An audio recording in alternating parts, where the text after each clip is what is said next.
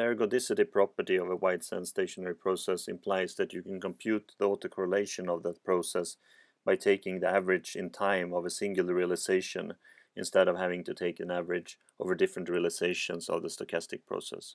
So this can be written as the following limit, which can also be written on a form involving only at most n samples of the signal of interest x of n inside of the limit. And then as you let the block length or the number of samples that you're allowed to observe tend to infinity, this quantity is guaranteed to converge in probability to an estimate or to the actual autocorrelation uh, function Rx of k.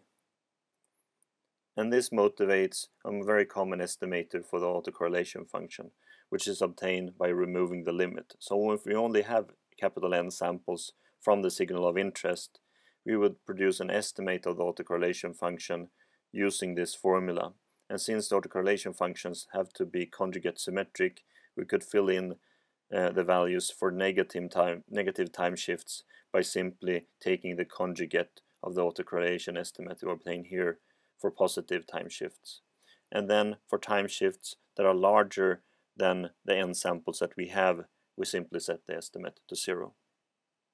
One thing to note about this estimate of the autocorrelation function is that it's biased, meaning that the expected value of the estimate is not equal to the thing that we try to compute, the autocorrelation function in this case. So the reason for that is that we divide this running sum by n instead of n minus k, which is the number of terms in the sum. So it's very tempting to try to create an unbiased estimator for the autocorrelation by redefining uh, the expression for the autocorrelation as this running sum over n minus k terms divided by n minus k instead. However, if you do that, you will get the unbiased estimator, but this unbiased estimator could in some cases fail to be a proper autocorrelation function itself, meaning that it would uh, not satisfy all of these properties necessarily, such as the property saying that the autocorrelation function at time lag zero must be larger in magnitude than the autocorrelation at any other time point. So for instance, you could end up with an autocorrelation for some other time lag which is greater than this, which would cause negative energy in the power spectrum estimate at some particular frequencies, and this is not this, uh, desirable. So for this reason, it's better to use the biased estimate defined in the previous slide than such unbiased versions of this estimate. Now that we have obtained an estimate of the autocorrelation function of the process x of n, from the n samples that we had of this process according to the formula shown previously. It's a simple matter to compute an estimate for the power spectral density by simply taking the discrete time Fourier transform of this autocorrelation estimate, which is given here uh, in terms of its definition. But since the autocorrelation function is identically equal to zero for large time lags, so the autocorrelation sequence estimate has a finite support, this reduces to a finite sum that we could evaluate for any particular frequency that we choose. And this estimate of the power spectral density is called the periodogram. Uh, there is another way of computing the periodogram as well, which may be more familiar, and that is knowing it directly from the data itself. So if we define W of R here uh, as a window of length n, which singles out capital N samples from the process, so the samples that we are able to obtain in the measurement process.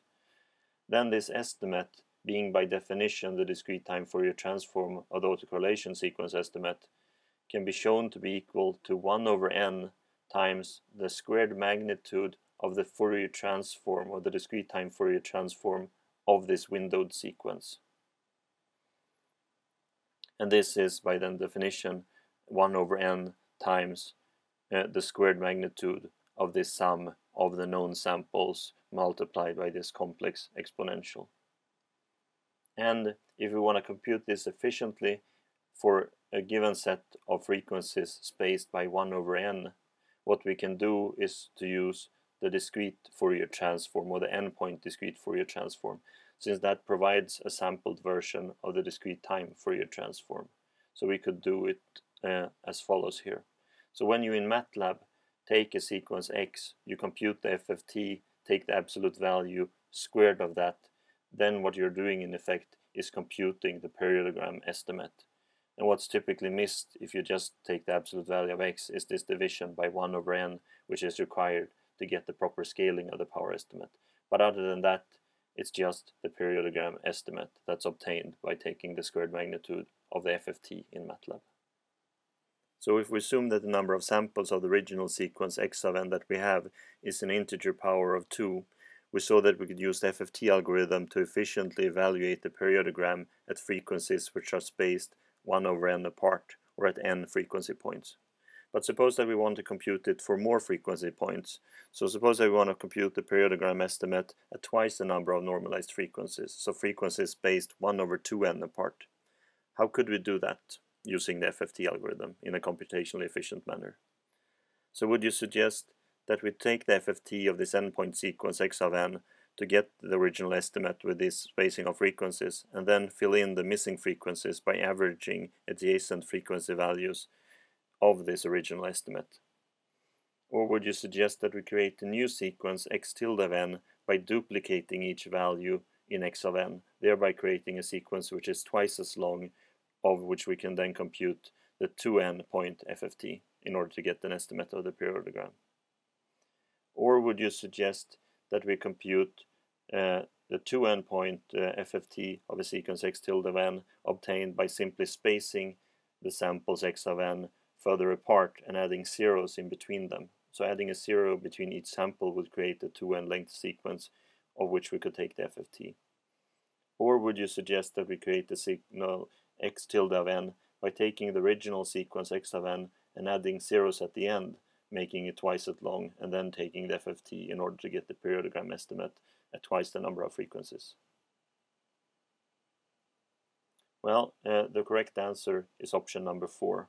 So we saw previously that by adding zeros to the end of a sequence or a finite length sequence, we could use the FFT to compute the DFT that would correspond to a tighter sampling of the discrete time Fourier transform. And the same apply here where we compute the periodogram estimate, since this is ultimately defined using the discrete time Fourier transform. In order to get an understanding of how the periodogram is performing, we could look at an explicit example.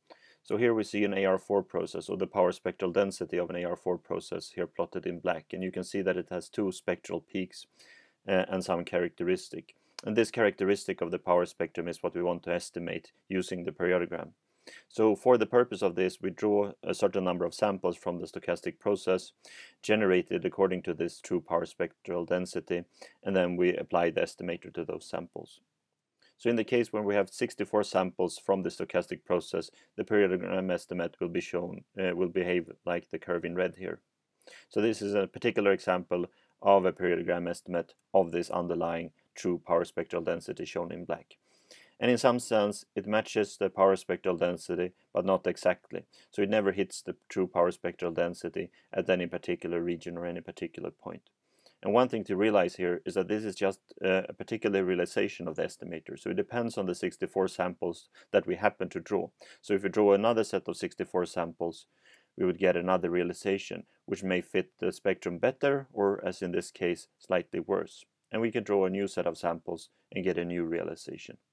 One interesting aspect of the periodogram is to study how it behaves if we have more samples than we had, in the, had before. So if we increase the number of samples from 6 to 4 and redo this example of computing the periodogram estimate, this is what we could get. So if you look at this plot, what we see is that in some sense we get a better estimate, so we matches the curve uh, more accurately, but only in some average sense of a frequency. So if you look at any particular point, we could be very far off from the true power spectral density. And this could be a problem if we, for instance, use this power spectral density estimate in order to build a filter, say, uh, based on the spectral characteristics that we obtain from the periodogram. So if the power spectral density estimate is very far off, we could uh, design our filter based on false premises. So this is something that we'll have to address in what follows. So when we discuss the quality of the periodogram estimate, there's a number of quantities that we could look at. So for instance, we could look at the resolution, which is a measurement of how quickly the estimate is allowed to change uh, as a function of the frequency. And this would tell us how accurately we're able to represent peaks in the periodogram, such as uh, in the power spectrum, as such as this, using the periodogram. Another quantity is the variance of the estimate, which tells us how much a single point in the estimate would move up and down as a function of the different realizations. So as we uh, changes the realization, any single point on the curve would move up and down, and the variance would be a measure of how much this is, and would be simply the standard variance of a stochastic variable, since the power spectrum estimate at a particular point is just a, a stochastic variable with a distribution determined by the underlying procedure of creating the estimate. We could also look, if we want to single out the resolution, by looking at an average over several different periodograms. And this would remove the variability due to the variance of the estimate. And then we can see a third property in the periodogram estimate, and that's a property of spectral leakage. So what we've done here is to take the average over 100 different realizations of the periodogram estimate. So that removes pretty much completely all of the variance. But we can still see that for some frequencies, like higher frequencies here between normalized frequencies 0.4 and 0.5, that the estimate deviates from the true spectrum. And this is a property called spectral leakage. So what it will be is that energy from these peaks will spill over into the frequencies uh, beside them, where we have a lower power given by the true power spectral density. And we'll look at that in more detail later. You can also look at some of these properties mathematically instead of just looking at the graphical representation in the examples. So you could, for instance, look at the bias, would be, which would be the expected value of the power spectral density estimate or the periodogram in this case. And one can show that the expected value of the estimate is equal to the true spectrum convolved with this function here. And this function here is nothing other than a squared magnitude of a sinc function.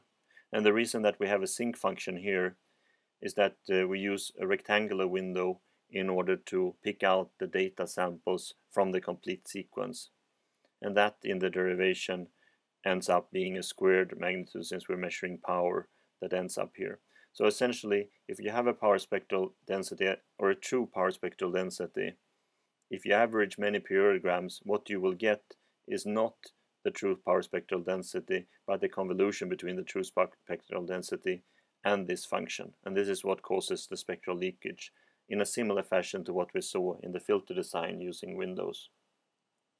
And you could also look at the variance, which would, as noted, simply be the variance of the stochastic variable evaluated at a particular frequency.